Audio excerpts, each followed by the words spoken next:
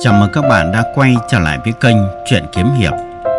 Vâng thưa quý vị và các bạn, trong chương trình đọc truyện ngày hôm nay, kênh Chuyện Kiếm Hiệp sẽ tiếp tục gửi tới quý vị và các bạn tiểu thuyết Ma Hoàn Huyết Lệnh của tác giả Giả Kim Dung. Phần thứ tư, Thám Hiểm Vô Ảnh Phong. Đồng Tường Hy nghĩ thầm trong bụng, mình vô dụng thật, quả nhiên đây là vô ảnh phong nằm dưới này. Không còn do dự gì nữa, vội buộc ngay cây bát nong ngân vào người cẩn thận, rồi lần bước xuống. Nhưng ác nỗi hơi sưng mù mịt không sao thấy lối xuống. Đồng Tường Hy đành phải dùng cả tay lẫn chân để men theo vách phong xuống. Nhưng vách núi rêu cỏ trơn vô cùng, khó lòng giữ cho thân mình được thăng bằng trong thế đi. Đồng Tường Hy than khổ thầm trong bụng, phải chi có thần châu đại hiệp ở đây thì hay biết mấy. Võ công của nhóm ngũ đại kỳ nhân mỗi người có một sở trường riêng. Đồng tần Hy chuyên về chưởng lực và lối đánh đàn. Nhưng ngọn thiên cương thần công và tiếng đàn có thể khiến người ta tự tàn hình thể của bát long ngân, không thể nào đem thi thố trên bức vách núi trơn như bôi mỡ này được. Chỉ có khinh công của thần châu đại hiệp là siêu phẩm nhập thánh. Có lão nhân đấy chuyện này thật không còn thành vấn đề. Đồng tần Hy vẫn cố lết xuống dần, hình như đã được 4 năm trượng. Lão nhân bắt đầu cảm thấy mồ hôi ướt lưng, hơi thở đã lớn hẳn. Quả thật đã đến lúc mệt đuối, nhưng dù sao Đồng Tường Hy vẫn cố bám lết dần từng chậm một xuống. Thành đình có tiếng soạt soạt, Đồng Tường Hy liếc mắt nhìn quanh bỗng cảm thấy trong mình lạnh hẳn thầm nhủ. Thôi chuyến này hết đời rồi, thì một đôi rắn lục độc to đột nhiên hiện ra cách đỉnh đầu không xa lắm. Chúng đang lăm le tẻ lưỡi vụt trườn nhanh xuống. Đồng Tường Hy cố rút ra một cánh tay phải búng nhanh ra một ngọn chỉ lực. Rắn xanh bên tay phải lập tức rất nhanh xuống hang sâu. Nhưng còn bên trái đã tiến sát đến gần cạnh. Đồng Tường Hy đành phải ngầm vận ngay chân khí. Thổi nhanh một màn hơi sang. Chỉ thấy lưỡi rắn ngừng ngay cử động. Nhanh như chớp Đồng Tường Hy thuận tay trưởng bên phải bỏ mạnh sang. Con rắn bị đứt ngang thành hai khúc rớt luôn xuống dưới. Ngay trong lúc Đồng Tường Hy dùng sức thỉnh lình ấy, tay trái và hai chân bị sụt trượt toàn thân cái sao động suýt tuột tay rơi luôn xuống hang thẳm. Đồng Tường Hy vội dùng tay phải bấu chắc lại vách tường. Chân tay đã mỏi như, vội vận tâm thần định trí để chấn tĩnh lại tinh thần. Đồng Tường Hy lại cố sức trườn dần xuống từng trượng, từng trượng một. Thời gian có đến hơn ba tản nhang. Đồng Tường Hy cũng trườn xuống được hơn ba chục trượng. Bỗng cảm thấy hai chân chạm đúng đất, toàn thân đã có chỗ chịu thăng bằng. Đồng Tường Hy cảm thấy trong mình cũng như tinh thần bớt căng thẳng nhưng sợ địch thình lình đánh nén vội lẩn ngay vào một nơi kín đáo định thần quan sát tình hình đồng tử nghi bất giác kinh ngạc với cảnh sắc trước mắt. Chỉ thấy ở không xa quả nhiên có một ngọn phong đẹp mắt hiện ra. Tuy bốn phía tối om nhưng cũng đủ thấy rõ ngọn phong ấy từ bên tít chân núi nhô lên. Đây mới chính là bản thân của ngôi vô ảnh phong thực thổ. Giữa lưng chừng ngọn phong có đỉnh đại lầu các ánh sáng mông lung trong cảnh tuyệt nên thơ. Còn nghe văng vẳng những tiếng nhạc êm dịu không khác gì một tiên cảnh trong trần gian. Những mùi thơm phảng phất trước mũi, nhìn kỹ, cỏ cây lá tươi tốt, đồng thường hy lấy làm lạ. Một nơi sâu thăm thẳm thế này ánh mặt trời không có, thế mà những hoa lá ngang nhiên sinh tồn được. Chuyện lạ thật, vừa nghĩ vừa đi, bỗng cảm thấy dưới chân đã chạm trống những bậc thạch cấp, chỉ thấy những thạch cấp toàn màu trắng và đều đặn. cúi đầu nhìn kỹ thì ra được xây bằng những viên đại lý thạch Đồng Tường Hy bèn gỡ ngay cây đàn cổ cầm sẵn trên tay và tiếp tục leo lên trên thạch cấp. Gần hết bậc thạch cấp thì thấy mình đang ngang lưng núi. Trước mặt bỗng hiện ra một bạch ngọc bình phong. Trên vách của bức bình phong bằng đá cẩm thạch lớn tướng này. Bên trên được khoét hẳn bốn ô chữ sâu lõm xuống. Nhìn kỹ ra là bốn chữ phi các tiên công. Trong lòng bực giận, Đồng Tường Hy bèn vận chân lực ra tay phải đưa lên xóa hẳn ngay vào chữ tiên, nháy mắt chữ tiên trên bình phong bằng cẩm thạch đã biến hình. Đồng Tường Hy lại dùng ngay kim cương chỉ lực, vận chỉ viết ngay một chữ ma vào nơi bị xóa đó. Đồng Tường Hy vốn sở trường nhất về nội công trong nhóm ngũ đại kỷ nhân. ngoạn chỉ vạch tới đâu nét chữ như rồng bay phượng múa đến đó và kiểu chữ không khác ba chữ kia. Đồng Tường Hy vừa viết xong bỗng bên tai có tiếng nói chuyển tới. Quý khách tử ra đến lại được đề cải công danh, sửa tên công các quả thật hân hạnh, hân hạnh. Dám mời quý khách rời bước ngọc để vào trong công dùng trà đá giọng nói trầm hùng chấn động tâm thần, chứng tỏ công lực người này cũng vào mức tuyệt đỉnh. Đồng Tấn Hy chỉ mỉm cười, ngang nhiên cất bước tiến thẳng. bước bạch ngọc bình phong thành nền tự động mở ra một ngách cửa. Đồng Tường Hy bước ngay vào bỗng cảm thấy bên trong sáng choang. Những cảnh tà yêu kỳ dị hiện rõ hết trước mắt. Chỉ thấy cung điện nguy nga và huy hoàng. Trước điện là một sàn thềm rộng rãi, có trên hai chục nam nữ thì mặc theo lối công nữ. Hình như bên trái được khảm một viên châu báu lớn. Ánh sáng từ trên tỏa khắp xuống cả ngôi điện nguy nga. Nhìn kỹ khoảng đất trước điện đây, chu vi rộng độ trên 10 trượng và thềm này toàn được khảm bằng lưu ly, hèn gì có thể trong suốt như một cảnh huy hoàng khéo léo, khiến người ta phải kinh ngạc. Đồng Tường Hy thấy cảnh nguy nga của ngôi ma cung hào nhoáng như thế, trong bụng tuy kinh ngạc nhưng không hề để lộ ra ngoài, bèn khẽ nghiêng mình đáp lễ. Đồng Tường Hy nay hân hạnh đến tham bái tiên cung, được quý vị trọng đại như thế này thật trong lòng cảm kích vô ngần. Trên hai mươi mấy nam nữ lập tức chia đứng thành hai hàng, chỉ thấy tà áo họ phấp phới tung tăng trong cuộc di chuyển vị trí đứng. Bỗng nghe một tiếng cười ngất chuyển ra, tiếng cười này lớn kinh khủng. Dù cho Đồng Tường Hy công lực cao thâm, nhưng cũng bị tiếng cười này lôi cuốn hẳn tâm thần. Tiếng cười rứt từ trong điện truyền ra một tiếng nói trầm hồng. Lâu nay từng nghe danh lừng lẫy của Đồng Tường Hy trong nhóm ngũ đại kỷ nhân, nhưng vẫn thầm trách nào vô duyên gặp gỡ. Nay được tương hội tại đây thật là sung sướng trong đời. Hai hàng nam nữ vội đứng nghiêm chỉnh cung thân. Dưới ánh đèn sáng choang ấy, Thoạt tiên thấy bốn thiếu nữ tuyệt sắc, tay sách cung đăng lả lướt bước ra. Phía sau là tám nàng thiếu nữ đẩy một chiếc xe luân. Mui xe là bức màn cao, châu ngọc tỏa ánh long lanh. Trên cẩm sàng trong xe một người ngồi chiếm trẻ. Chỉ thấy người này mặc áo cẩm bào, một khăn thêu che mặt, toàn thân hình có vẻ lớn cao. Đồng tưởng Hy nghĩ bụng chắc người này là chủ của phi các ma cung. Vô ảnh phong lão ma đây. Trong bụng lo đề phòng cẩn thận, nhưng bề ngoài vẫn tỏ vẻ ông dung điểm tĩnh, đứng uy nghi ngay nơi thềm lưu ly. Bụng nghĩ, nghe đồn ngũ quan trên bộ mặt của độc ma bị tàn khuyết kinh khủng. Một người bị mắc bệnh cùi trầm trọng, nay thấy lối ăn mặc kỳ quái đây. Quả thật lời đồn không sai, vì y đã không thể cho người ta thấy chân diện mục của mình. Lại càng không thể rời sàn xuống thi lễ, nhưng động Tường Hy cảm thấy hai luồng nhãn tuyến của độc ma đáng sợ và sắc bén vô cùng. Chỉ thấy đôi mắt sáng quắc ấy chiếu thẳng vào mặt mình, biết ngay tia nhìn này có tác dụng nhiếp hồn. Nhưng nay mình từ xa nặng lội đến, mục đích cũng chỉ vì muốn khiến cho hắn khuất phục và giao ngay ái đồ của mình Hàn Tử Kỳ và Bạch Điệp Châu Ni.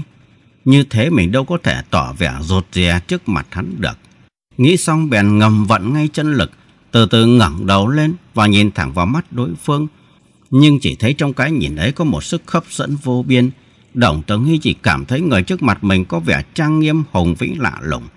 Trong lòng bất giác dấy lên một niềm kính phục, nhưng thình lình Đồng tấn Hy cảm thấy nguy, biết ngay đây là loại nhiếp hồn thủ pháp của độc ma, vội thu ngay tâm của mình lại và cố chuyên trí nghĩ rằng người trước mặt mình đây là một tên đại ma đầu dâm ác. Lập tức xóa ngay hẳn lòng kính nể của mình với đối phương, tức khắc khôi phục được tinh thần bất khuất của mình. Đôi mắt sáng ngời nhìn sang độc ma, Công lực của Đồng Tống Hy quả bất phàm chỉ trong nháy mắt đã thu ngay ý chí của mình lại.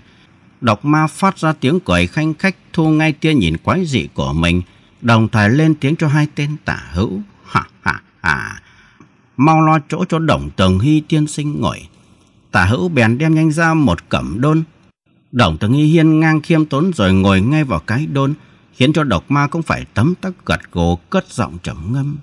Đồng Tấn Hy quả danh bất thư chuyển, đáng mặt là một nhân vật nhất hạng trong giang hồ. Bản nhân vốn chấp trưởng tiên công, lo ẩn cư nơi ngoại đào nguyên này để cố tránh tất những phiền não bực bội của trần thế. Tiên sinh vốn là kẻ cao tịnh, tội gì lại phải nhúng chân trong tục thế của trần đời. Nếu có thể lại đây cùng với bản nhân thưởng thức phong tuyệt, cùng nhau nghiên cứu tiên đạo, trước là có thể tránh bệnh tật, sau nữa là có ngày được phi thăng đăng đạo, như vậy tiên sinh nghĩ sao? Đồng Thường Hy ông dung cử tuyệt, ma cung chủ nhân lại lên tiếng thanh minh rằng nơi phi các tiên cung vô ảnh phong này của bản nhân bấy lâu không biết có bao nhiêu người đã tự mang là hiệp nghĩa anh hùng đến viếng thăm. Nhưng phần đông đều thấy tiên cung trắng lệ cuộc sống vui tươi hơn hẳn những cảnh sống phàm tục trong trần đời. Phần nhờ các bản thân thực lòng kết nạp và anh ấy cũng muốn sống luôn tại tiên cung này tình nguyện trở thành một bộ hạ trung thành của phi các tiên cung đây nhưng cũng không khỏi có số người ngu muội ương ngạnh hoặc là chê bản nhân không được xứng đáng, nên không bằng lòng để bản nhân thu nạp, và họ đã bằng lòng hiến sinh mạng và tặng xương khô, để lại những bảng chỉ lộ cho tiên công. Ngưng một chập chủ nhân ma cung lại tiếp tục. Mục đích của tiên sinh đến đây bản nhân đã rõ ý. Tên Hàn Tử Kỳ quả là trời phú cốt cách bất phạm, tướng mạo tuấn tú khôi ngô. Nghe nói là ái đồ của tiên sinh. Nội điểm tuyển đồ đệ này cũng đủ biết giá trị trí tuệ của tiên sinh rồi. Tiểu tử này quả là một võ lâm kỳ tài sau này. Bản nhân đây tính giữ y lại luôn trong tiên cung và cho làm thân hàng thị vệ. Nhưng tiếc cái bản nhân đây đã nhận lời của một người bằng hữu ủy thác, nên đành cho tiểu đồ đi nhạc châu áp giải y về đây để khỏi thất hứa với bằng hữu nên không tiện giữ y ở lại và chỉ trong vài ngày nữa sẽ đưa hắn ra khỏi tiên cung và giao cho người bằng hữu của bản nhân định đoạt. Mối tình thầy trò của tiên sinh quả nhiên không thể nào tránh khỏi cảnh mũi lòng nhưng theo ý bản nhân tôn chỉ của nhà Phật là tứ đại giai không. Tiên sinh vốn người đầy trí tuệ, thế nào chả hiểu những thâm ý cao ấy. Nếu nghĩ được vậy, chuyện trong mấy trăm năm chẳng qua cũng chỉ là làn khói thoảng qua mắt mà thôi.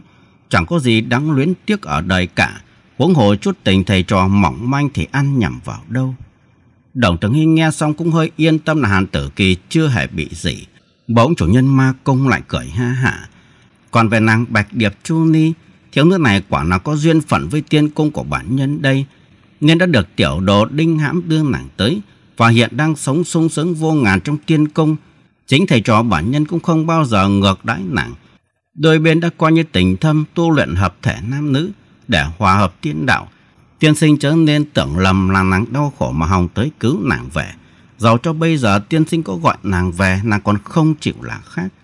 Rút lời độc ma lại cất tiếng cười ha hả. Đồng tần Hy bỗng cất tiếng cười. Vậy xin hỏi ngọn quỷ ảnh đoạt hồn đã từng tàn sát nhóm Bạch Vân Tôn Giả tại âm cốc tử vong và sau này lại nhờ đến quý tiên cung bày kế nhử bất tiểu đồ ấy là ai? Độc ma lạnh lùng rằng, xin lỗi tiên sinh, về chuyện này ta phải giữ kín đáo cho bằng hữu, nên tiếc không thể nào cho tiên sinh biết được. Đồng Tường Hy khẽ ở ờ một tiếng liền đứng phát ngay dậy. Độc ma vẫn ngồi uy nghi trên sảng khẽ đưa tay tiếp đái với Đồng tưởng Hy. Tiên sinh chớ có vội nóng tính, hãy chờ dùng chút tiệc mọn đã. rút lời ra lệnh cho tả hữu, một tiếng tuân lệnh oai nghiêm vang lên. Lập tức có người bưng ngay rượu thịt ra, kẻ no rót rượu công kính, nhưng màu rượu đỏ tươi đẹp mắt nạ. Chỉ thấy độc ma ngồi trên sảng đưa tay mời. Xin mời tiên sinh dùng. Đồng tường hy thầm nghĩ trong bụng, không biết ý định làm trò gì đây. Nếu mình không ăn uống chẳng hóa ra mình nhát gan sao. Thế nào họ chả chê cười, nếu muốn giữ toàn danh dự của mình đành phải liều một chuyến mới được. Nghĩ xong bèn lập tức ngầm vận chân khí, phong tỏa hết các huyết mạch huyệt đạo trọng yếu trong mình. Và nếu phát giác có gì kỳ lạ, có thể ý vào công lực của mình để ép hết những chất kỳ độc ra ngoài. Quyết định xong cầm ngay chén rượu uống, nhưng cảm thấy rượu có vẻ thơm ngon mắt lạ lùng, rõ ràng là đâu có độc gì.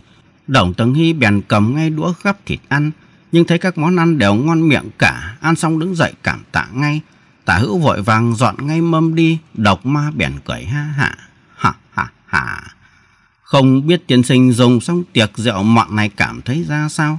Động tưởng hy đáp, ngon tuyệt ngon tuyệt, chỉ có thể tìm được tại tiên cung đây trần thế thật hiếm có bữa ăn ngon như vậy. Chủ nhân ma công lại đưa tay hướng về phía động tưởng hy vui vẻ hỏi, quý khách dù khen ngon, vậy có thể kể ra là thứ rượu gì và thịt gì không? Câu hỏi này quả khiến cho Đồng tưởng Hy mắc bí. Làm sao biết được rượu và thịt gì, bất giác lúng túng, không biết nên nói sao. Trên sàng độc ma cười đắc chí. Này, Đồng tưởng Hy, tiên sinh bị mắc bẫy của bản chủ nhân đây rồi. Những rượu thịt này mà ta kể ra cho ngươi nghe, thế nào ngươi cũng không chịu ăn uống, nói thật cho ngươi biết. Thịt mà ngươi đã ăn đó chính là thứ nhu nhục được cắt sống trên mình thiếu nữ, rồi được chế biến đặc biệt nên được thơm ngon lạ miệng vậy. Và thứ rượu ấy được lấy máu tươi của thiếu nữ mà tạo thành, cho nên màu mè mới tươi đỏ và thơm lạ lùng. Và quả ngươi đã khen tặng đúng, ngoài vô ảnh tiên công ta ra, trên thế gian này không còn đâu có loại rượu thịt đặc biệt này nữa, và đời người cũng ít ai có dịp để thưởng thức những món ăn như thế. Đồng Thường Hy nghe xong thất kinh đứng bật người lên, tia mắt giận dữ nhìn thẳng sang độc ma. Nhưng độc ma thản nhiên cười nói, Đừng vội tức giận như thế, hãy chịu khó nghe ta giải thích. Trong ngôi phi các thiên công này của ta, thu nạp không biết bao nhiêu là trinh nữ mỹ miều, và những đệ tử của bản công cũng hàng hà xa số. Đôi bên nam nữ đã hòa hợp để tìm tất cả cái vui thần tiên của âm dương. Đồng Tưởng Hy quát lên. Cầm miệng, ngươi ăn thịt uống máu người như thế mà nói là thú vui sao? Dâm ác tàn nhẫn đến thế thật xúc sinh còn phải thua xa. Tiếng chửi mắng ấy khiến cho những đệ tử ma công đứng hai bên kinh ngạc vô ngẩn. Soạt, soạt, soạt, những tiếng tuốt kiếm vang lên, ánh sáng lấp lóe nhoang ngắn, Các đệ tử chỉ còn chờ lệnh ra tay công đánh. Tình hình đã khẩn trương đến cực độ. Đồng Tử Hy cũng vậy chuẩn bị, ai nấy đều ngước mắt nhìn về phía độc ma như chờ đợi sự phán quyết. Nhưng sau khi độc ma nghe Đồng Tử Hy lên tiếng quát mắng như thế, chẳng coi vào đâu cả. Thấy y hơi ngạc nhiên nhưng thỉnh lình thu hẳn ngay thái độ lại. giơ tay phất nhẹ lên chỉ thấy các đệ tử này dắp một tiếng đều đặn tra hết kiếm vào vỏ. Chủ nhân ma công cởi nói, Đồng trưởng Hy hãy nghe ta giải thích. Vốn ta sáng lập ra hợp hoan đại đao pháp, rộng ý là mượn âm dương của đôi bên bồi bổ cho hợp lý, để cốt trừ căn bệnh tiêu tan, sớm được phi thăng tiên đạo. Nhưng trong đám nam đệ tử của ta đều do ta tuyển chọn về tư chất phải tuyệt vời. Nhưng còn bên nữ thì được thu nạp khắp bốn phương trời, nên có phần lẫn lộn số tốt bên trong. Nhưng nếu nàng nào có tư chất không được khá, sau khi bị hãy nhủy không những không được thu hợp luyện công với các đệ tử trong cung, và cũng không thể nào thích nghi với cuộc sống tại phi các này. Chỉ còn mỗi cách là sớm giải quyết họ, và sau khi lấy máu tươi ngâm rượu và sử dụng triệt để cổ xúc đó thật là nhất cử mà tam tứ tiện. Ha ha ha. Đồng Tường Hy không ngờ rằng tên độc ma này lại có thể nói ra những câu vô nhân đạo như thế. Trong người giận điên lên, chỉ trực nhảy bung tới đâm ngay cho y vài nhát mới hạ lòng tức. Độc ma vẫn thản nhiên cười rằng, nay không ngờ kẻ tự xưng là hiệp nghĩa lừng danh như Đồng tưởng Hy, mà cũng ngang nhân ăn thịt đồng loại và uống máu người như thế. Chuyện này mà truyền ra trên giang hồ, thật không biết sẽ thích thú đến đâu. Khi ấy rồi cho Đồng tưởng Hy có muốn mạo xưng chính nhân quân tử, Chắc gì đứa trẻ ba tuổi tin cho không? Hả hả hả. Thế là các đệ tử của độc ma cũng góp tiếng cười chế nhạo. Đồng tưởng Hy bỗng quát lên một tiếng. Hừ, độc ma, nhà ngươi chớ coi thường Đồng Tường Hy này hãy mở mắt nhìn kỹ đây xem. Rốt lời Đồng Tường Hy há miệng nhả ngay mấy miếng thịt người xuống mặt đất. Thịt vẫn nguyên phong bất động. Tiếp theo phun luôn những giọt máu tràn lan xuống thềm lưu ly trông lênh láng đỏ chói. Đồng Tường Hy giết lên một tiếng như long ngân xông tới trầm giọng. Lũ người đã mở mắt thấy rõ chưa, ta vốn là những kẻ hiệp nghĩa chính thống. Lũ người dùng quỷ kế tính hại thanh danh ta, thật là trò trẻ con. Nên biết rằng những trò quỷ quỷ đấy chỉ có thể hại nổi những bậc giang hồ hậu bối mà thôi. Còn đối với Đồng Tường Hy như ta đây, hở bọn ngươi đừng có mơ ngủ như thế. Nội lực khí công của Đồng Tường Hy như thế quả khiến cho mọi người trong ma cung thất sắc không ít. Thậm chí đến cả độc ma ngồi trên sàng cũng hơi gật gỗ. Sau một hồi trầm mặc chủ nhân ma cung bỗng nhiên cười lớn. Ha ha hạ, quả xứng đáng đồng tưởng hy thật ngọn lực khí công quả đã không biết còn phần định lực ra sao.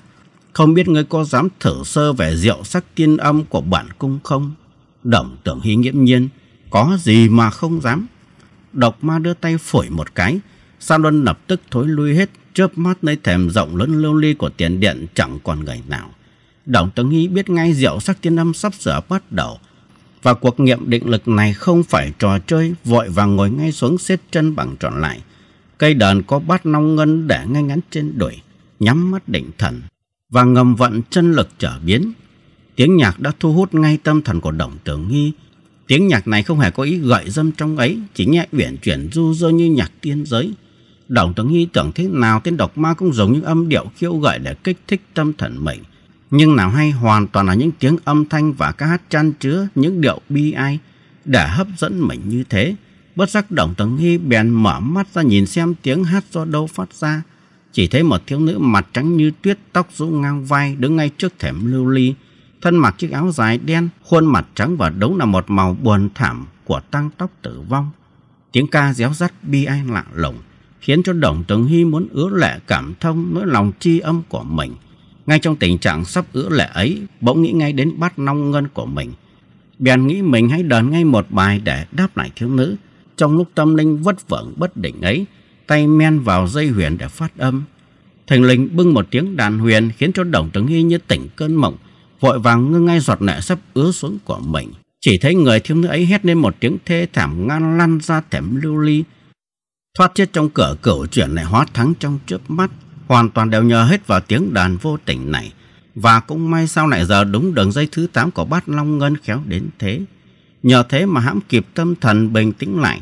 Nhưng thiếu nữ nọ vì đã gửi hết tâm thần của mình vào trong câu hát. Thành nên bị tiếng đàn huyền của bát Long Ngân liền rối loạn tinh thần, lập tức các đường khí huyết bị bế tắc, Nàng hét đến một tiếng nằm bất tỉnh trên thềm lưu ly, xem ra nếu không chết thì cũng bị thương nặng. Đồng Tường Hy cảm thấy ân hận vô cùng, trong lòng đang băn khoăn thì người trong ma công lại hiện dần ra hết. Sao luân của độc ma cũng hiện ra hắn lên tiếng khen. Định lực của tiên sinh quả là đáng khen, công lực cũng đã đến mức tuyệt luân. Bản nhân xin có lời thán phục, thán phục. Đồng Tưởng Hy khiêm tốn.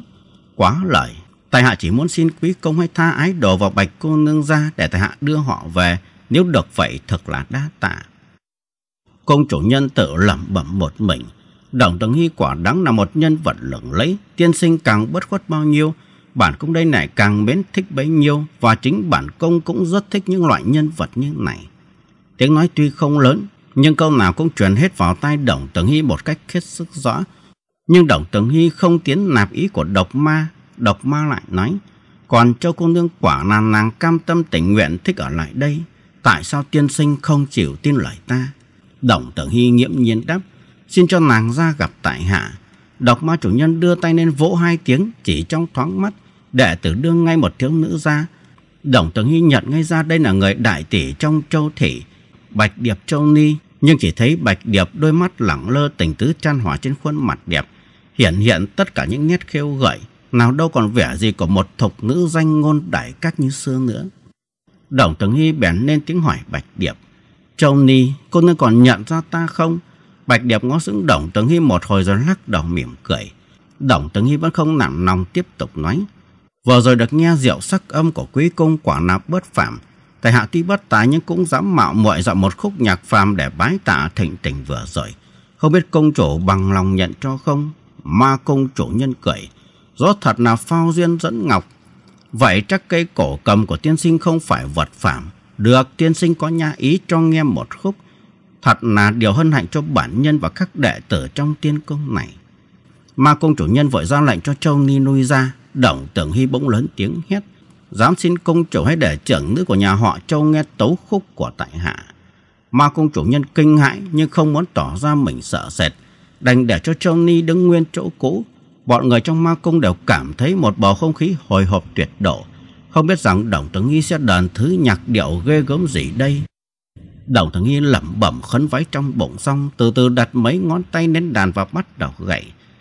Mọi người chỉ nghe một điệu nhạc rõ mau, trong điệu nhạc này như gợi nên tất cả những tình thắm thiết của tuổi trẻ thơ ấu. Mọi người vẫn lắng tai và chẳng ai lo đề phòng. Đồng Tường Hy vừa đàn vừa ngó chăm chăm về phía Châu Ni. Tiếng đàn lại như đang kể lệ tất cả những dĩ vãng của đời Bạch Điệp, nhắc hết đến những người thân đang trông đợi nàng về đoàn tổ. Tiếng đàn vẫn tiếp tục, Bạch Điệp hình như đã tỉnh lại thần trí của mình và càng như sắp sửa quyết định dứt khoát một cái gì. Độc ma và đồng tướng nghi đều cảm thấy sắp có biến xảy ra trong chớp mắt. Không khí lúc này càng trở nên khẩn trương. Thành đình Bạch Điệp vung trưởng nên đánh như điên cuồng sang phía ma công chủ nhân. Chỉ thấy song trưởng của nàng đang hung hăng cố đánh sang đỉnh đầu của độc ma. Những đại tử ma công đứng hai bên đều thất kinh rú lên. Nhưng thân hình độc ma vẫn không chuyển động, chỉ khe đưa tay lên hất mạnh.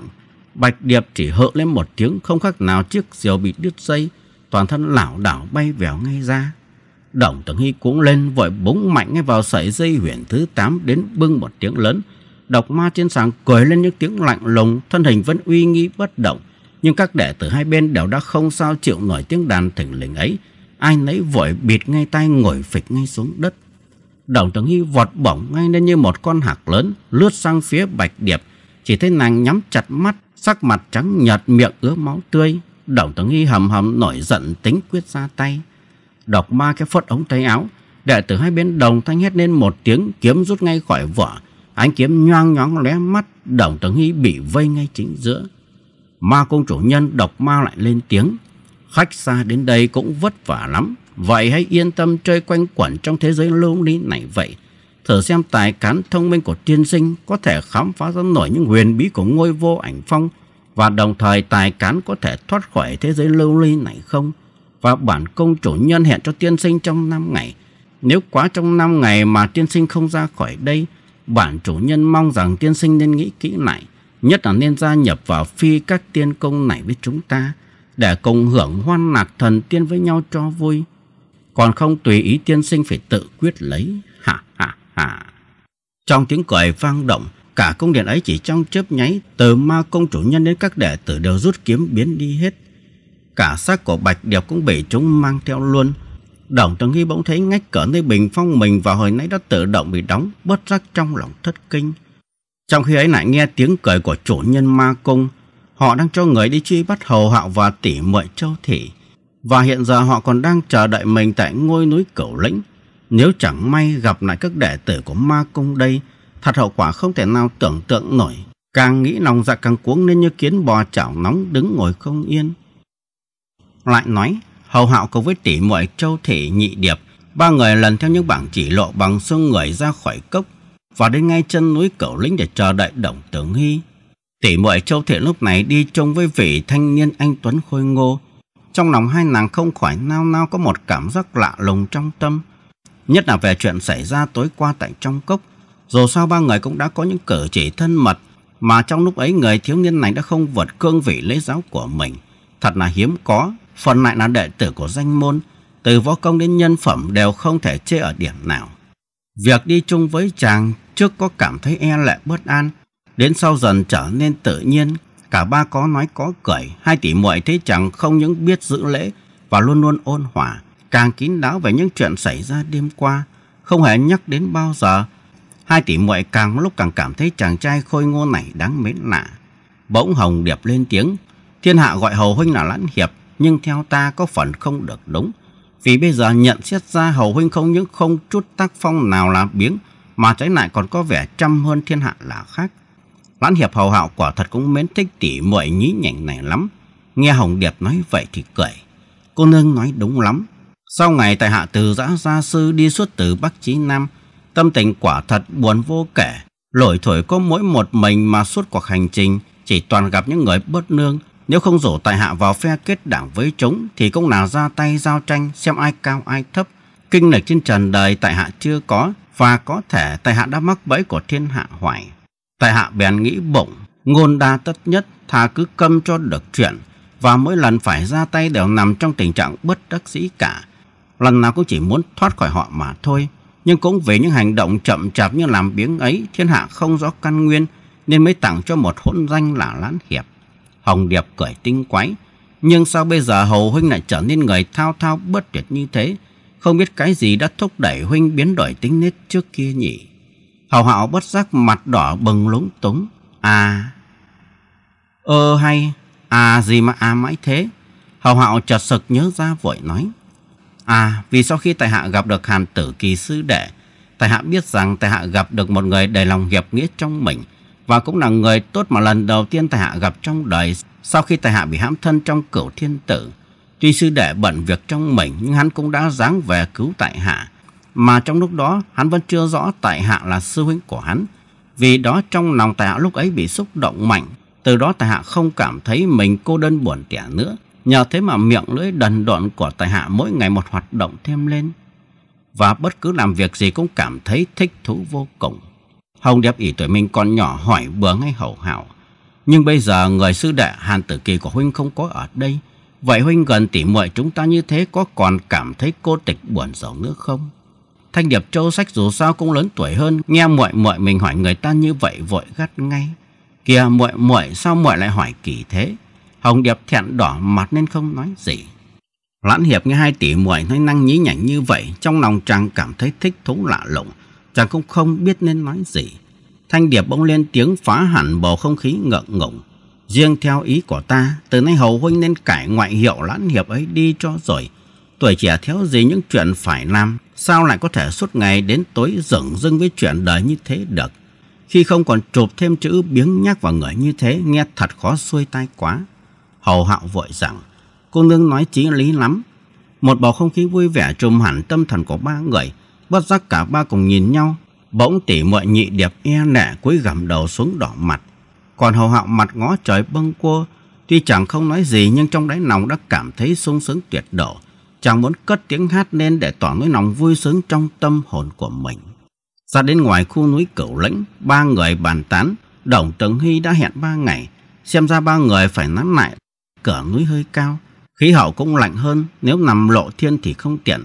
Chàng bèn đánh dấu kỹ cửa núi để đi tìm động huyệt. Chàng quanh co mãi mới tìm được một động huyệt bên trong rộng rãi, cửa hang lại nhỏ.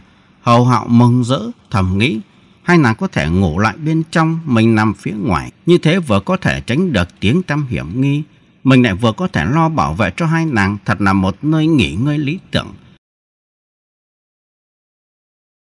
Chàng quay về và đưa ngay tỉ muội nhị điệp lại. Hai nàng cũng lo bắt tay vào sửa soạn chỗ nằm. Hai tỷ muội tạm quên các mối sầu, người lo hái lá, kẻ lo bẻ cảnh, hát ca nhí nhảnh, chả mấy chốc đã xong việc. Hầu hạo cảm thấy lương khô không còn mấy, bèn nói với hai nàng là phải đi săn gì ăn. Cả hai đồng ý để chàng đi nhưng không quên căn dặn là chàng hãy trở về sớm. Hầu hạo độc thân vào hẳn sâu trong cánh rừng cửu lãnh. Các thú rừng cọp beo ở đây không phải là ít, nhưng hầu hạo nghĩ bụng, những con thịt loại này chắc tỷ muội nàng không ăn quen. Nếu săn được một con trồn chắc hay hơn. Chàng bèn cầm trong tay một cục đất khô, âm thầm lần từng bước một đi tìm mồi. Từ gò đất cho đến khe suối, chỗ nào chàng cũng len nổi tìm. Bỗng chẳng nghe có tiếng ca, tiếng ca của thiếu nữ. Âm giọng nghe hay lạ thầm nghĩ, chắc có lẽ tỷ muội nhị điệp đã theo đuôi mình đây, nhưng không biết tiếng hát của thanh điệp hay hồng điệp. Nhưng chàng vội quả quyết ngay là của hồng điệp. A đầu này mới 17 tuổi, nhưng tính trẻ thơ còn chưa dứt, chắc là nàng ta chứ không ai nữa. Ngay lúc này hầu hạo cũng nảy ra một ý nghĩ tinh nghịch. Mình trốn đại vào trong rừng rồi thình lình ra dọa nàng chơi cho vui. Nghĩ xong chẳng nổi tính hồn nhân nghịch ngợm của trẻ lớn đầu, vội tung mình nhảy luôn lên một ngọn cây sầm uất. Tiếng ca từ xa lại gần, càng lúc càng nghe rõ chỉ nghe ý nghĩa của tiếng ca. Núi xa sông dài, muội cất bước từ quan san, trải muôn ngàn cực khổ. Ôi huynh của muội, nay huynh ở đâu? Muội không quản ngàn chồng cùng đi chỉ vì huynh. Muội tìm huynh để bộc tỏ nỗi lòng, nỗi lòng đoạn trưởng. Nhưng than ơi, mở mắt ra chỉ thấy toàn cảnh non nước vô tình. Vì chúng biết nơi huynh ở, nhưng chúng trơ trơ không muốn mách bảo muội. Muội đã tương tư buồn rầu, bi thương và hãy nhớ đến huynh là đời muội cảm thấy thê lương. Tiếng ca ai oán liên miên bất tuyệt khiến cho kẻ nghe phải bồi ngồi thương xót cho người trong cuộc. Hầu hạo sao xuyến trong lòng trang lấy làm lạ. Hồng Điệp hát bài tình ca này nàng mới chừng ấy tuổi đầu. Bộ nàng đã có cái tâm trạng bi đát đến thế sao? Hay nàng hát vì mình đây? Nhưng tiếng ca mỗi lúc mới gần dần đằng trước bụi cây kia xem thêm vào đó có cả tiếng sột soạt của quần áo nữa. Chứng minh đây là một thiếu nữ không sai. Trong lòng hầu hạo càng đâm ra nghi hoặc ẩn mình sau một cảnh cây. Tiếng bước chân đã gần hẳn, chỉ còn hai trượng xếp bước vào rừng. Ồ, nàng mặc toàn màu trắng, nhìn kỹ tướng đi thì không phải hồng điệp châu chu. Hầu hạo chuyển mình thình lình nhảy ra chặn ngay lối đi. Nhưng cả hai đều thất kinh về sự kiện xảy ra ngoài ý tưởng của mình. Ai nấy vậy tông nhanh mình vèo hẳn ra sau. Quả nhiên không phải châu muội thật mà là một ả thiếu nữ vừa trẻ đẹp một cách lạ lùng. Toàn thân trắng tinh như tuyết, chẳng khác nào một nàng tiên nữ đi lạc xuống trần gian. Nhưng trên khuôn mặt ấy hầu hạo nhận thấy đượm thêm nhất u buồn trong lòng. Bạch y thiên nữ ngó sững hầu hạo nhưng nàng không có vẻ gì là sợ hãi cả. Hầu hạo bỗng chợt nghĩ ra, thôi đúng rồi. Ngó người thiếu nữ dung nhan tuyệt thế này, hơi giống giống với tỷ muội nhị điệp. Lại ăn mặc toàn màu trắng như thế này chắc có lẽ là bạch điệp của ba tỷ muội họ châu đây chăng? Đêm qua trong vô ảnh cốc, Thanh Điệp có nói rằng đại tỷ nàng có xuất hiện trong cuộc vũ xuân tỉnh. Hình như là người này thì phải, chắc nàng đã được sư thúc đồng tưởng hy cứu và tới đây để gặp lại hai muội muội và cố dùng tiếng hát để cho chóng gặp nhau. Nghĩ xong hầu hạo cất tiếng hỏi ngay, phải chăng cô nương là Bạch Điệp Châu Ni đấy không? Thế còn Đồng Trường Hy và sư đệ ta Hàn Tử Kỳ nay ở đâu? Bạch y thiếu nữ lộ vẻ ngạc nhiên, huynh hỏi ai, xưng hô thế nào với Đồng Trường Hy và Hàn Tử Kỳ? Hầu hạo rằng, tại hạ tên Hầu hạo, sư phụ tại hạ là một trong ngũ đại kỷ nhân, tức thần châu đại hiệp. Sư thúc Đồng Trường Hy và sư đại Hàn Tử Kỳ của ta còn chưa nói với cô nương việc này sao? Và sư thúc đã dặn chúng ta ở đây chờ trong ba ngày. Nào ngờ lại cứu được cô nương một cách nhanh chóng như thế. Bạch y thiếu nữ càng tỏ vẻ hòa nhã và vui mừng. Hầu hạo tưởng đâu thiếu nữ là Bạch Điệp. Bụng nghĩ rằng nàng đã bị thầy trò độc ma làm ô nhục. Trong lòng buồn bực vô cùng, chàng cố tránh những chuyện có liên quan đến phi các tiên công cho nàng đứa ngượng. Và càng thể càng đâm ra thương hại ả thiếu nữ trước mặt biển nói. Cô nương hãy để ta đưa lại với Châu Sách và Châu Chu gặp nhau cho rồi. Họ đều ở cả hang động trước núi kia. Bạch y thiếu nữ không nói năng gì, lo theo ngay sau hầu hạo đi, bỗng nắng lên tiếng.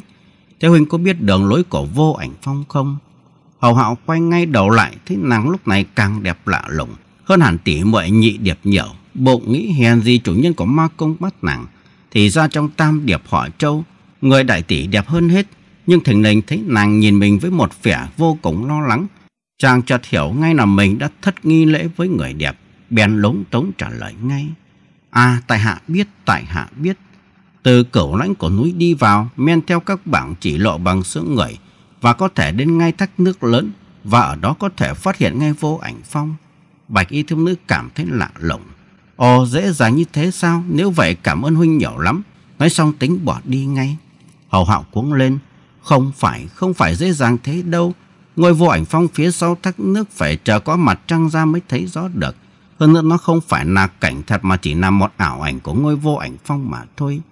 Và chính sư thúc ta đã nói là đã khám phá ra sự huyền ảo của nó là chính hơi của các thác nước và ánh sáng mặt trăng có thể phản chiếu cảnh đó. Chính ngôi vô ảnh phong thật thì nằm một nơi kín đáo khác. Bạch y thiếu nữ bỗng đứng tẩn ngẩn, vẻ kinh mừng trong ánh mắt biến tan dần. Nàng lại trở về với trạng thái u sầu như cũ.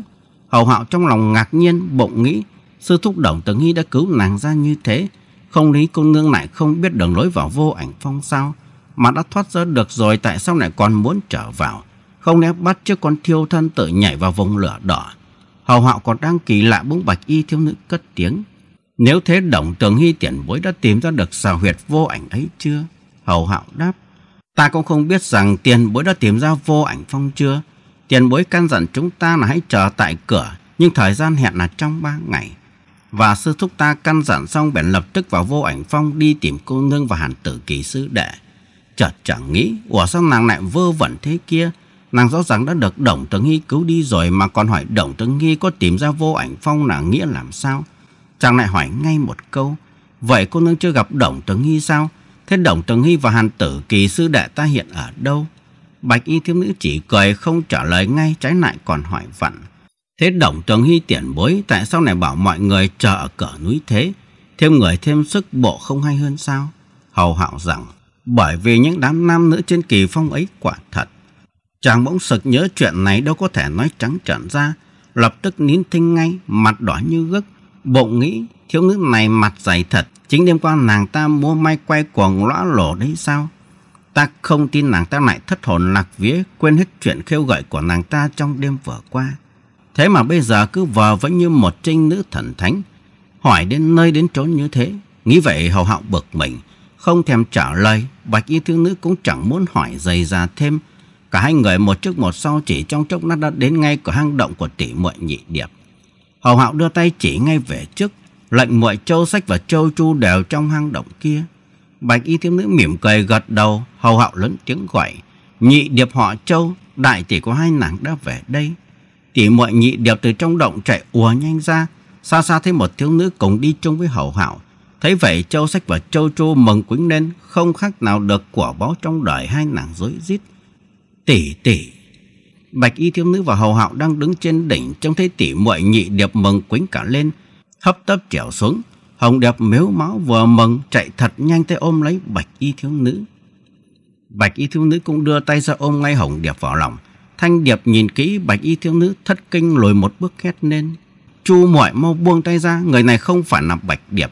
Câu nói này vừa thoát ra, hầu hạo cho đến châu chu đều kinh hãi. Hồng Điệp lập tức buông ngay tay, lui nhanh ngay về phía Thanh Điệp.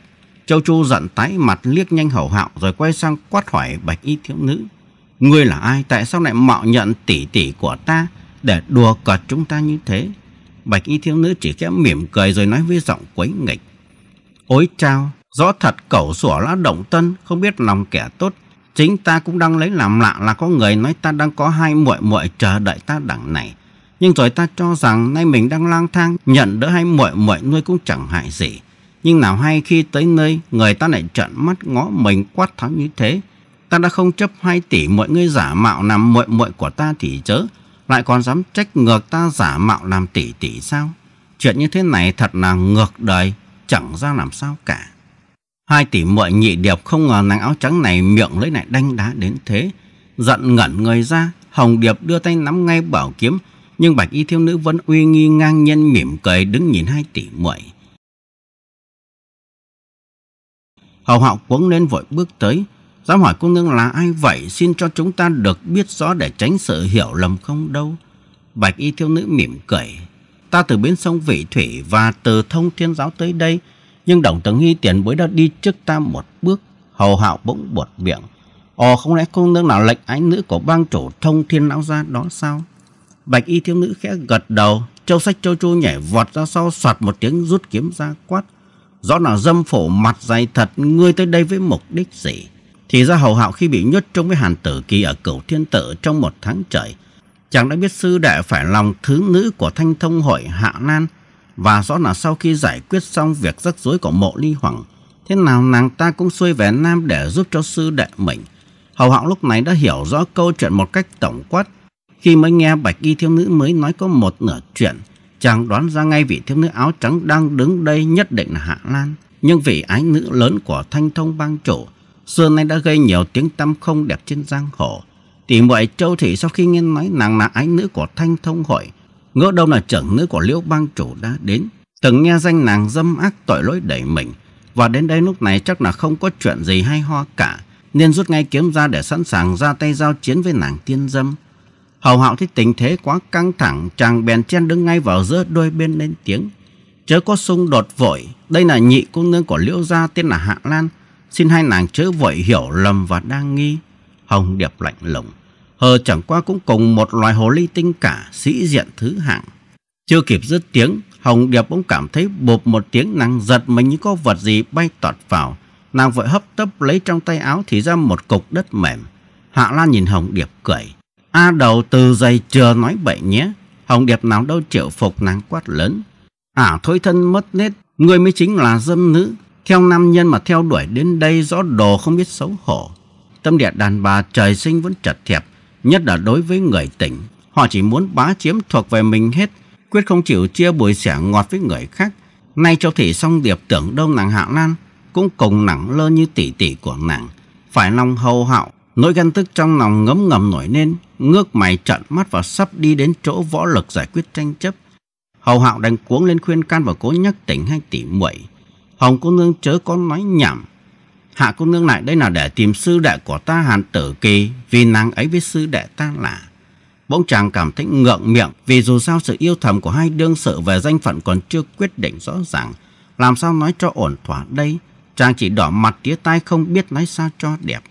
Thấy vậy, Thanh Điệp Châu sách kéo mạnh tay mội mội của mình, Hồng Điệp lầm về phía hầu hạo nói. Thôi muội chúng ta đi mặc họ để họ tự do, hai tỷ muội ta đi ngay về phía hang động. Hầu hạo càng đâm khó xử, phần chàng biết sư đệ của mình rất yêu nàng Hạ Lan. Nay người ta đơn thân đến đây, như vậy cũng đủ chứng tỏ mối thâm tình của nàng đối với hàn tử kỳ sư đệ rồi. Mình là sư huynh đâu có thể làm ngơ mà chẳng chăm sóc người ta. Nhưng ở đâu, Châu Thị song điệp lại cố tình không chịu hiểu lòng mình, khiến cho mình tiến thoái lưỡng nan. Nhưng chàng vốn là người nhiệt tâm thành thật, bộ nghĩ không nên lạnh nhạt với Hạ Lan. Hầu hạo nói, xin mời Hạ cô nương hãy lại đằng kia nghỉ ngơi, rồi chúng ta sẽ bản tính sau. Nói xong bèn dẫn ngay Hạ Lan đi lại phía hang động. Châu sách châu chu toàn bỏ đi ngó thấy hầu hạo tỏ ra ân cần cùng Hạ Lan, máu ghen sôi trào, cùng lao tới phía sau lưng mỗi nàng đánh ra một trường. Đang đi chợt nghe có luồng gió ở sau lưng, Hạ Lan nghiêng mình tránh khỏi, quay phát lại trả luôn hai trưởng.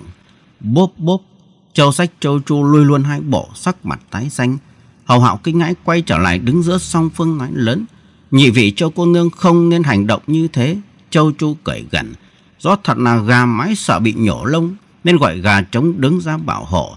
Thôi cũng được, cánh gà trống cũng khá cứng cáp, để tình gà trống biết thương gà mái. Bản cô nương tạm tha cho một lần. Nói xong đứng quay lại chỉ thấy gió thổi tà áo phất phơ. Trong hạ lan lúc này đoan trang lạ, không giận mà cũng không oai. Hầu hạo bèn cố dàn xếp mời ngay cả ba nàng ngồi quanh đống lửa. Nhưng tỉ muội xong điệp vẫn giận hạ lan, không buồn nói chuyện với nàng. Chỉ có hầu hạo lúc này lên tiếng. Hạ cô nương tới đây chắc là muốn vào vô ảnh phong để thám thính về tin của sư đại hàn tử kỳ trăng. Hạ Lan vừa rồi giận hai tỷ muội châu thì ăn nói hàm hồ nên mới cố tình chọc cho bó ghét nhưng thấy cả hai tỷ muội đều bị mình khiến cho khiếp vía và nay ngồi dựa vào nhau mặt buồn rầu không muốn nói năng gì. Trong lòng Hạ Lan lúc này cũng cảm thấy tội nghiệp hai nàng. Hơn nữa tuổi tác hai nàng này cũng suýt soát với mình. Do đó nàng lại đâm ra mến thương hai người. Hối hận mình vừa rồi đùa quá trớn. Khẽ than thầm một tiếng trong bụng. Khi nghe đến hầu hạo hỏi nàng bất giác bị sao xuyến về tâm sự của mình mặt dầu dầu. Sau khi kỳ huynh đi xong, vụ rắc rối của thanh thông hội với ly mộ hoàng đang đi đến chỗ căng thẳng nhất. Thành linh được động tường hy tiền bối đến khuyên giải. Và cuộc tranh chấp được dàn xếp tạm yên, nhưng cũng mất hơn một tháng trời mới xong. Sau khi chấm dứt sự lộn xộn, ta vì nhớ đến kỷ huynh nên sau khi đồng tiền bối đi được một ngày, ta cũng theo đuôi đi luôn. Suốt dọc đường ta nhờ những tin tức linh động và chính xác nhất của huynh đệ thanh thông hội, nên ta đã theo hút ngay đến Nhạc Châu, nhưng tìm không ra kỷ huynh. Sau được tin đồng tầng hy tiền bối cùng với kỳ huynh đi về đây, và ta cũng biết ngay đây là xào huyệt của thầy trò độc ma, nên đã vội vàng đuổi theo đến. Và cũng thừa biết là ngọn vô ảnh phong khó tìm ra lắm. Đang lúc băn khoăn thất vọng thì tình cờ lại gặp được huynh đây. Hầu hạo cũng kể hết một lượt về chuyện của mình rồi thêm rằng Sư thúc ta đã dặn là ở đây chờ trong vòng ba ngày. Vậy xin hạ cô nương hãy ở đây với chúng ta. Nếu sau ba ngày mà không thấy sư thúc ta ra, chừng đó cả bốn ta mạo hiểm vào vô ảnh phong luôn. Ý hạ cô nương tính xem có tiện không? Hạ Lan vẫn dầu dầu. Tiện thì tiện đó, nhưng chỉ lo cho kỳ huynh hiện nay đang nằm trong tay bọn ác ma như thế.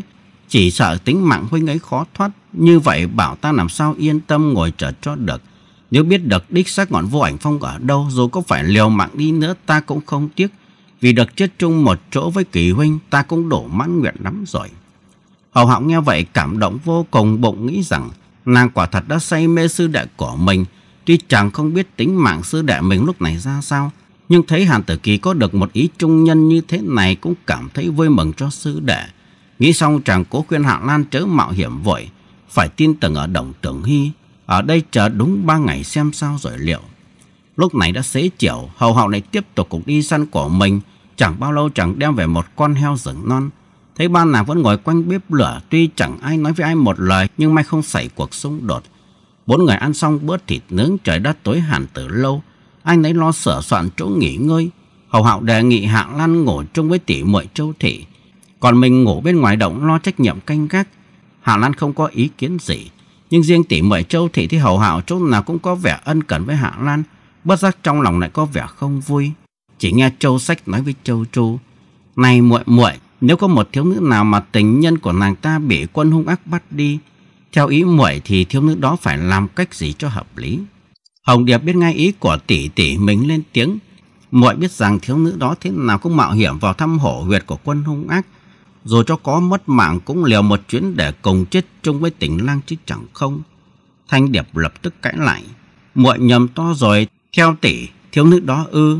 Nàng sợ chết không dám đi, mà không chừng lại còn chiếu tướng chẳng nào của người ta là khác. Như vậy mới xứng với câu tỷ bà di chủ. Tỷ muội hai người kẻ nói người hỏa cố tình mỉa mai Hạ Lan Hạ Lan nào phải không hay, nàng giận đứng phát người lên, tính sắp sửa ra tay. Lần này cả đến hầu hạo cũng cảm thấy nhị điệp có lỗi chàng bèn lên tiếng cắt.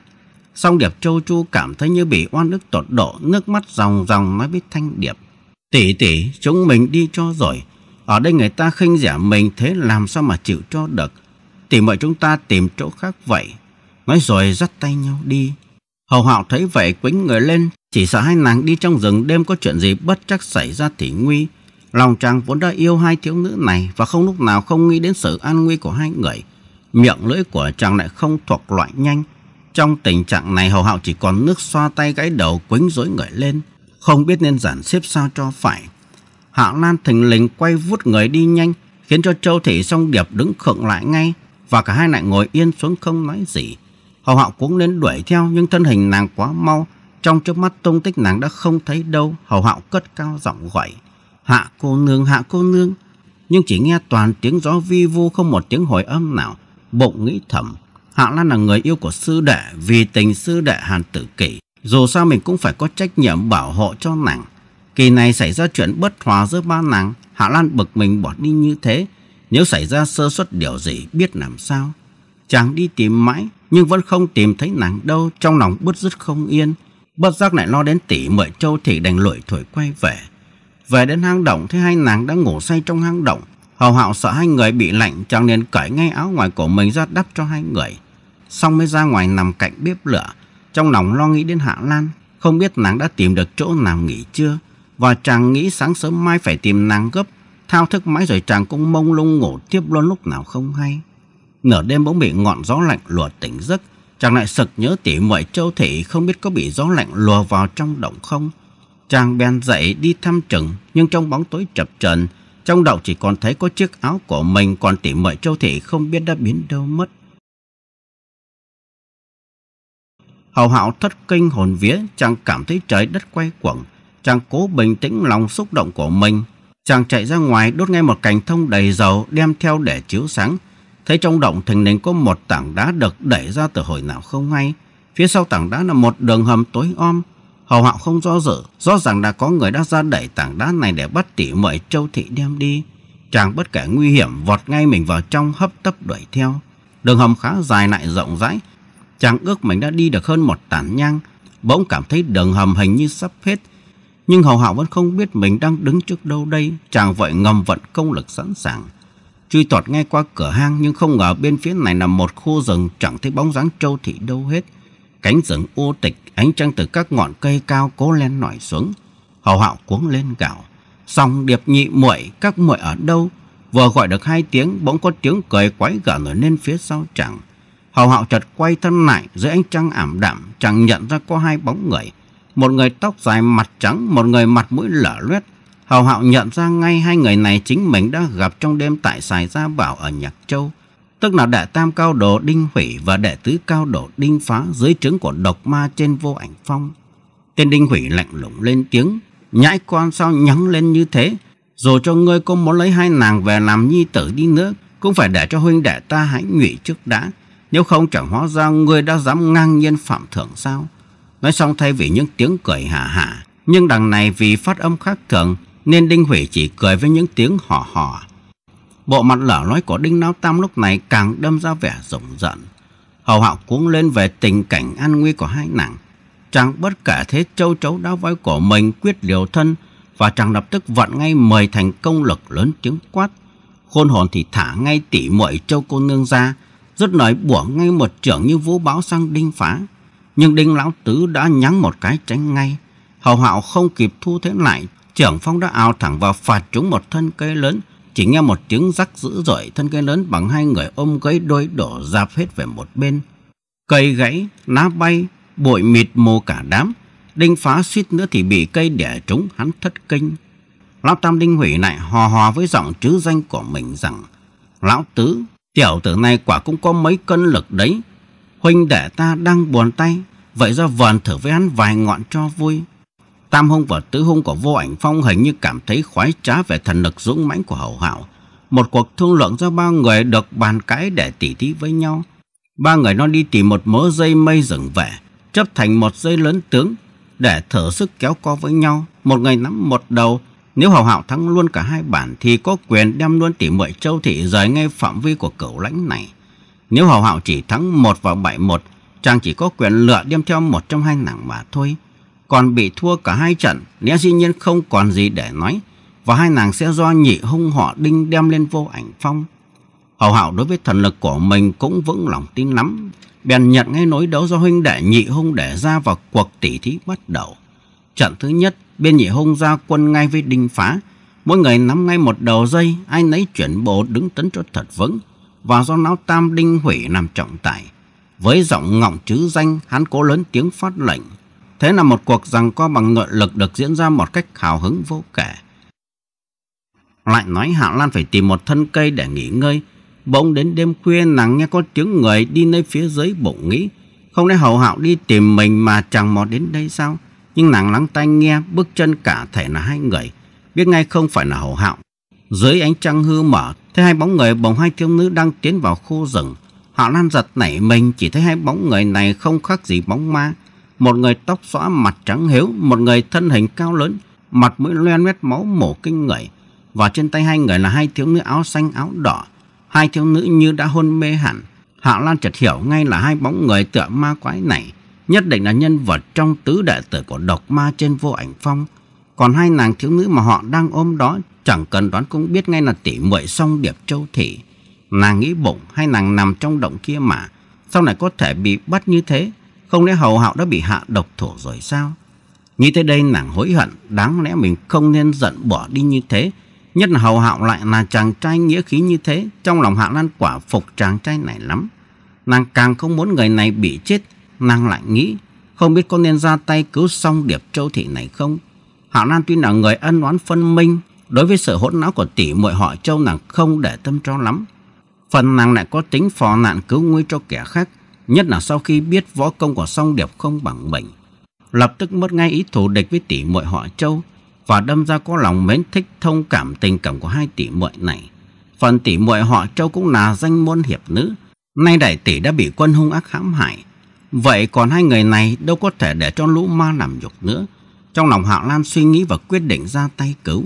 Nhưng nàng còn lo sợ vô ảnh phong là nơi mình muốn tìm đến ngay tức khắc, Nếu mình không làm kinh động đến hai tên ma họ đinh này. Mình có thể theo lên ngay sau lưng chúng mà vào vô ảnh phong. Nhưng nàng lại phân vân, Nghe đồn rằng tứ hung họ đinh của độc ma võ công tên nào cũng quỷ dị vô cùng. Nay thỉnh lình có hai tên xuất hiện như thế E sợ mình khó lòng thắng chúng chăng? Bỗng trong rừng có tiếng gọi của hầu hạo vang lên, song điệp nhị muội, các muội ở đâu? Nghe tiếng của hầu hạo hạ lan nhẹ nhõm hẳn người. Nàng thấy nhị hung họ đinh vội vàng lo giấu ngay tỉ muội song điệp vào một hang đá gần đó, Rồi mới hiện thân ra để gặp hầu hạo. Hạ Lan bèn nhẹ nhàng lẻn ngay vào trong hang Đưa tay khẽ sờ thì ra nhị điệp đã bị điểm thùy huyệt Nàng vội giải huyệt ngay cho hai người và xoa bóp cho hai nàng một lúc. Thì mọi châu thị tỉnh dậy, cả hai ngạc nhiên ngẩn người vừa kinh vừa giận. Tính lên tiếng quát hỏi nhưng Hạo Lan mỉm cười ngăn lại. Và cho hai nàng biết ngay những tình hình mới biến chuyển đây. Tỷ muội châu thị mới hay mình vừa gặp nạn may được hạ lan ra tay cứu. Nghĩ ngay đến những cử chỉ vô lễ của mình. Thế mà nay người ta dùng đức để trả oán với tỷ muội mình như thế. Hai nàng càng nghĩ càng thẹn lòng nhưng hạ lan cố lỡ hết và cho tỷ muội nàng hay là hầu hạo đang giao tranh với nhị hung tại khu rừng ngoài kia. Song Điệp nghe nói rối loạn lòng, tính chạy ra để trợ chiến cho ý trung nhân. Hạ Lan hấp tấp ngăn lại, ba người lắng tai chợt nghe tiếng ầm đổ của cây to và thần lực hầu hạo đã gây hứng thú cho nhị hung và một cuộc đấu sức được nhị hung đưa ra với điều kiện dùng tỷ muội nhị điệp nằm giải tranh tài. Hạ Lan khuyên xong Điệp hãy dán chờ kết quả xem sao rồi tính sau. Hai nàng cũng biết lối tỉ thí này không có gì đáng ngại cho lắm. Trong lòng cũng tạm vững bụng cho sự an nguy của chàng, ai nấy chăm chú chờ đợi kết quả. Trận thứ nhất thoạt đầu, đôi bên đều đồng cân ngang sức. Nhiều lúc hầu hạo đã tính bỏ cuộc, nhưng chàng nghĩ đến hai người đẹp họ châu, bao nhiêu sức dồn mạnh lên đôi cánh tay, cố duy trì tình thế, nhờ sự cương trí chịu đựng đó, dần ra hầu hạo thắng thế. Đinh phá quả nhiên chỉ hung hăng lúc đầu, nhưng thời gian kéo dài bộ tấn của hắn đã không vững, Thành đình bị hầu hạo kéo bật ngay sang danh giới đã quy định trước. Lão Tam Đinh Hủy thấy vậy cũng tỏ ngay công bằng nói. Hay lắm, tiểu tử thắng ván đầu, vậy hãy chuẩn bị tỉ thí trận thứ nhì này với ta. Giọng nói ngọng nghịu của y khiến cho hầu hạo nghe câu được câu mất, nhưng đại khái cũng hiểu là sắp so tài lực đây. Hai người nắm tay đầu dây, đứng bộ cẩn thận.